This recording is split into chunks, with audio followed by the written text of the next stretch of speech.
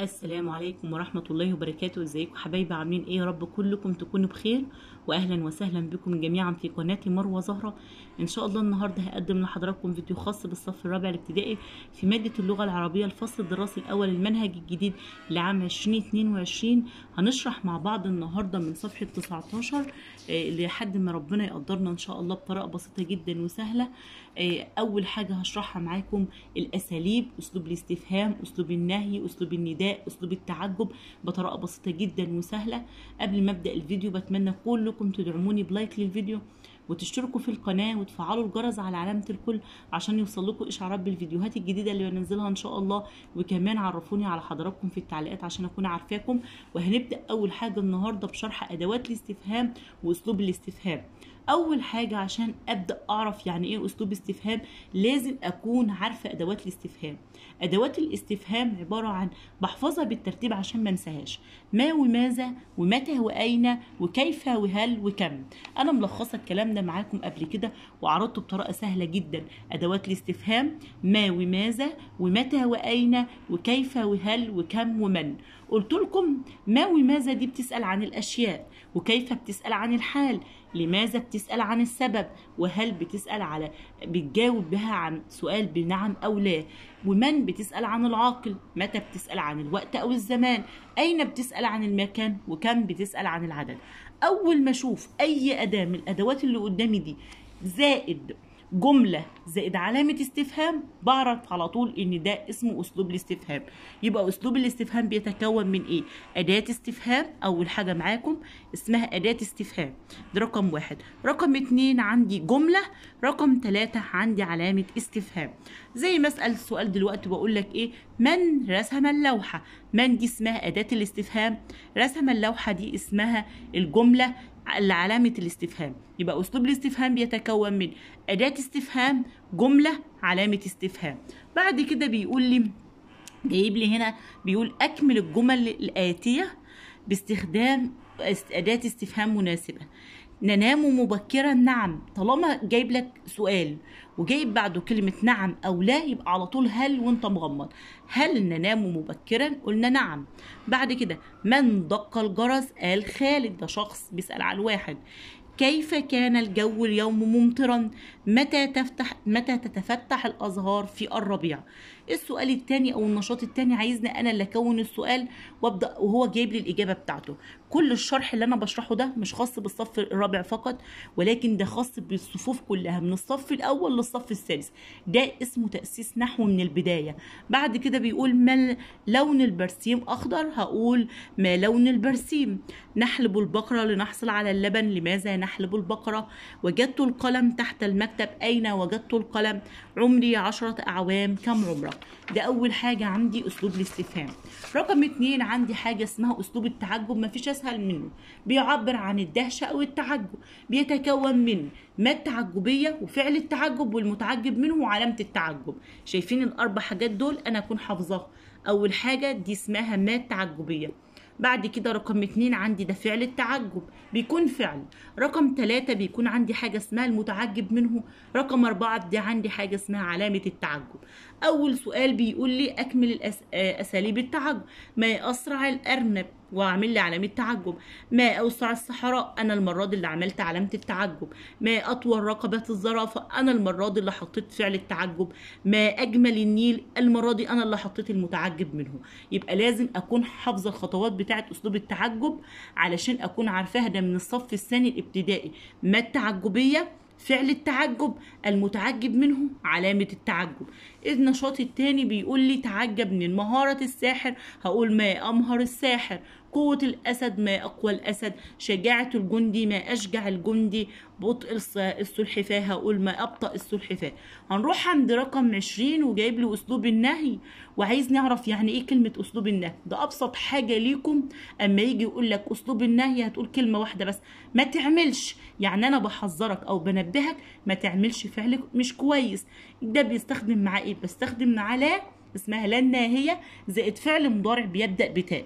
ده اسمه التركيب بتاعه أو التكوين بتاعه. لا زائد فعل مضارع بيبدأ بتاء. طيب ماشي. بيقول لي انهي زميلك أو صديقك أو صديقتك.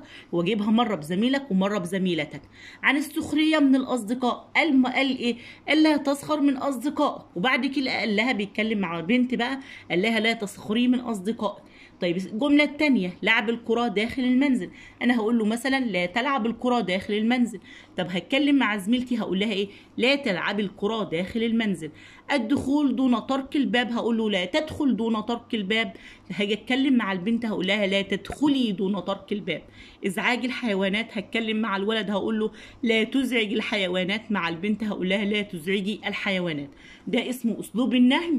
لو حد سألك عليه بتقول كلمة واحدة ما تعملش يعني بحذرك أو بنبهك ما تعملش فعل مش كويس. بعد كده عندي رقم 21 أسلوب النداء. أسلوب النداء ده بسيط جدا بيتكون من يا وزائد المنادى زائد الطلب. يا دي اسمها أداة النداء يا. دي أول حاجة. والمنادى والطلب اللي أنا بطلبه منك. بقول يا طارق اغلق الباب يا محمد ذاكر دروسك.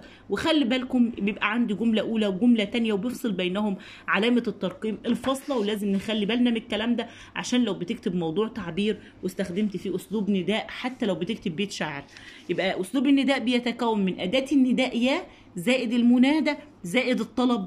باين قدامكم أهوت وجايب لي في الأمثلة بيقول يا محمد اين القطة. يا منى افتح الباب. بعد كده بيقول يا حازم اكتب الدرس. بعد كده بيقول لي قدامكم اهوت رقم 22 جايب اسلوب النفي. اسلوب النفي ده بسيط جدا وسهل. أنا عامله له حاجة مش هتخليكم تنسوها ابدا. بس بالحاجة ديت بالعاميه كده. هو جايب لي اسلوب النفي وبيقول لي ادواته. قال أدواته الأول لم ولن. طيب إحنا بننساهم. لا إحنا مش عاوناش هننساهم إن شاء الله. لم ولن ولا دي من عندي كمان ليكم عشان ما تنسوهاش. دي اسمها أدوات النفي. ماشي. عايز أعرف هستخدم دي إمتى وأستخدم دي إمتى وأستخدم دي إمتى. أول حاجة أنا بقول لك مع أنت ب... أنت بتتكلم عن نفسك بتقول مثلا ما عملتش. كلمة ما عملتش ديت بتاخد أداة النفي لم. يبقى لم دي بتدل على نفي فعل. حصل ده في الماضي. يعني مثلا بتقول إيه؟ بتقول لم أشاهد المباراة أمس. أول ما أشوف كلمة لم دي باخد معاها. أول ما أشوف أي كلمة بتدل على الماضي أمس مثلا بقوم حاطه لها لام على طول. بمعنى ما عملتش أنا بنفي إن أنا ما عملتش الحاجة ديت. دي أول حاجة. عندي حاجة اسمها ما عملتش باخد لها لم. عندي حاجة اسمها مش هعمل. يعني أنا مش هعمل الحاجة دي ابدا استحالة هعملها في الوقت اللي هيجي بعد كده. باخد لها لن ولن دي بتفيد نفي وقوع حدث في المستقبل. يعني أنا بنفي إن أنا مثلا مش هروح الرحلة الأسبوع الجاي. فأقول إيه؟ مثلا هقول لن أسافر إلى أسوان الشتاء المقبل. ده اسمها مش هعمل. يعني مش هعمل يعني أنا مش هنفذ الحاجة ديت. فعشان كده خدت لها أداة النفي لن. الحاجة التالتة بقى اللي هي لا اللي أنا في الوقت الحالي الحاضر بقول مثلا ما بعملش. يعني مثلا بقول إيه لا أكذب مثلا أو أقول مثلا لا ألعب في الشارع أو مثلا أنا بنفي عن نفسي إن أنا ما بعملش الحدث ده في الوقت الحالي. يبقى بستخدم له لا. يبقى أنا هو عندي ما عملتش حاجة في الماضي هتحط لها لم. مش هعمل هتحط لها لن. ما بعملش هتحط لها لا. مفيش أسهل من كده. ثلاث كلمات بتحطهم في دماغك مش بتنساهم هتعرف من خلالهم أدوات النفي استحالة تنساهم. تاني ما عملتش دي بتاعت لم بتاعت الماضي. مش هعمل ده بتاعت لن المستقبل. في الوقت الحالي ما بعملش يبقى لا. ده أبسط حاجة لأسلوب النفي. بعد كده عندي أهو بقول جايب الجمل بقول لن أسافر إلى أسوان الشتاء المقبل. بعد كده ما أجمل أجواء القرية عايزة أحط أداة تعجب؟ ما الفاكهة التي تفضلها عايز نحط أداة استفهام؟ ما أغلى ترابك يا وطني عايز أحط أداة نداء؟ بعد كده لم أشاهد المباراة أمس وحطت لها لم بتاعت ما عملتش بتاعت الماضي وحطت لن تكن سريع الغضب لا تكن سريع الغضب حطت أداة نهي بعد كده عندي بتنقل للجزء اللي بعد كده جايب لي حاجة اسمها الحروف المتشابهة في النطق في صفحة 22 أول حاجة دي اسمها قواعد الإملاء بقى. جايب الحروف المتشابهة في النطق لما أنا أجي أملي ابني أو لو حضرتك مدرسة وبتسمعيني لازم توضحي آه، الحروف ديت اللي بتكون متشابهة في النطق عشان الطالب يقدر يتملى معاكي كويس جدا أو يقدر يكتبهم من غير ما يغلط فيهم. زي حرف السين وحرف الصاد وحرف الدال وحرف الضاء وحرف التاء وحرف الطاء وحرف القاف وحرف الكاف وحرف الزاي وحرف الزال وحرف الظاء. دي اسمها الحروف المتشابهة. وبدأ جايب عراها عليها أسئلة زي مثلا كلمة ضفدع كلمة دولاب كلمة صندوق كلمة سلحفاة كلمة توأم كلمة طائرة كلمة كمثرى كلمة قنفد كلمة ذهب كلمة ظرف كلمة زرافة. دي اسمها الحروف المتشابهة ولازم تكونوا حافظينها حبايبي. رقم اتنين بيقول للأصوات القصيرة أنا عندي نوعين من الحركات حاجة اسمها الحركات القصيرة وحاجة اسمها الحركات الطويلة. الحركات القصيرة دي بناخدها زي الأغنية فتحة ضمة كسرة سكون دي اسمها الحركات القصيرة. الحركات الطويلة بقى اللي هي المدود المد بالألف المد بالياء المد بالواو. وجايب لي الكلام هنا ومبينه قدامي وبيقول لي مثلا الفتحة زي مثلا ما أقول كتب زرع درس وجايب الكسرة زي مثلا كلمة درع كلمة رجل كلمة دولاء في الضمة جايب كلمة دب كلمة فل. والأصوات الطويلة زي ما قلت لكم ده صوت المد أو المد هو إطالة الصوت الحرف الحرف بواحد من الحروف المد الثلاثة. وقلت لكم أنواع المد مد بالألف مد بالياء مد بالواو. مد بالألف ده بيكون قبليه الحرف اللي قبله بيكون عليه فتحة. وكمان المد بالياء الحرف اللي قبليه بيكون تحتيه كسرة المد بالواو الحرف اللي قبليه بيكون تحتيه ضمة عليه ضمة. بعد كده جايب لي كلمات وبيقول لي أكمل الكلمات التالية بحركة قصيرة أو حركة طويلة. كلمة طائر كلمة قرد كلمة حوت. بعد كده كلمة سلحفاة. كلمة بقرة كلمة فيل وأول ما تشوفهم مد وممدود يبقى دي حركة طويلة. حرف عادي يبقى دي اسمها حركة قصيرة. بعد كده جايب لي أهو معاكم وبيتكلم على حاجة اسمها المد بالألف مع حرف الألف وبيسمى الهمزة الممدودة. وبيقول إن الكلمة ديت هي بتكون عبارة عن كده يا أولاد حرف ألف قدامكم اهو وعليه فتحة ووراه المد بالألف. فبيدمج الاثنين دول مع بعض في الهمزة القرآنية اللي أنتوا بتبقوا شايفينها قدامكم ديت وبتذكر في كلمة آدم أو كلمة آية أو كلمة المرآة. وجايب لي هنا بيقول لي ارسم حط دايرة على الكلمات اللي فيها مد زي كلمة بطريق كلمة كوخ كلمة طوب كلمة ياسر كلمة سريع دي كلها تحتها مدود.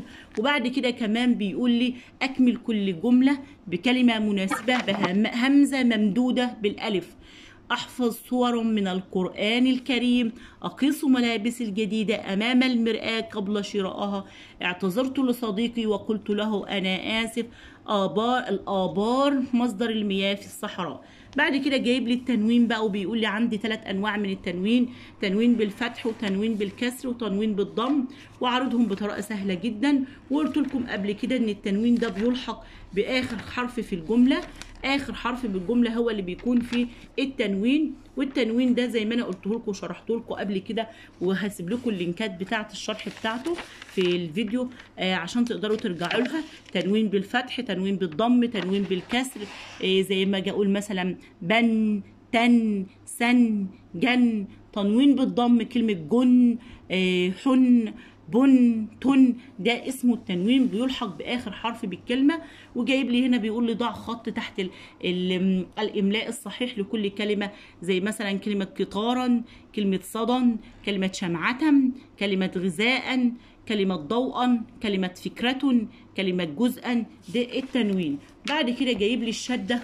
وبيتكلم على الشدة وبيقول لي إن الشدة دي عبارة عن حرف الحرف المشدد بيكون أصله حرفين الأول بيكون ساكن والتاني بيكون متحرك وبيكتب الحرف المشدد مرة واحدة وبينطق مرتين زي عندي ثلاث أنواع من الشدة الشدة المفتوحة الشدة المقصورة الشدة المضمومة ودقيقوا شايفين قدامكم الأمثلة اللي هو عاملها ولما باجي أفك الحرف المشدد ده بفكه على مقطعين مرة ساكن والمرة التانية بياخد الحركة اللي على الشدة زي كلمة خفاش كلمة أمني كلمة صبورة كلمة صفارة كلمة كمون كلمة سكر. بعد كده عارض لي اللام الشمسية واللام القمرية. اللام الشمسية ديت لام بتكتب اللام الشمسية الأول دي بتكتب ولا تنطق وما بعدها يكون مشدد. يعني الحرف اللي بيجي بعدها بيكون مشدد بعرفه من كده. لكن اللام القمرية بتكتب وتنطق وتكون ساكنة يعني بيكون عليها علامة السكون. زي كلمة بيقول لي هنا بقى عايزني أختار لا إما هختار القمر لا إما هختار الشمس. للكلمة اللي قدامي كلمة التفاح عايزني أضيف لها ألف ولام. هتبقى التفاح واخترت لها اللام الشمسية. كلمة كلب هتبقى الكلب واخترت لها اللام القمرية. الشبكة اللام الشمسية. البرقوق اللام القمرية الثعبان اللام الشمسية كلمة مركب اخترت لها اللام القمرية. مش هطول عليكم أكتر من كده كفاية كده النهاردة هنبقى إحنا واقفين عند صفحة 24 والمرة الجاية إن شاء الله هنكمل مع بعض بقية القواعد وننتهي خلاص من الجزء الأول في كتاب سلاح التلميذ في الصف الرابع الابتدائي. يا رب أكون بقدم لكم معلومة مفيدة دعواتي لكم جميعا بالنجاح والتوفيق. تحياتي لكم مروة زهرة.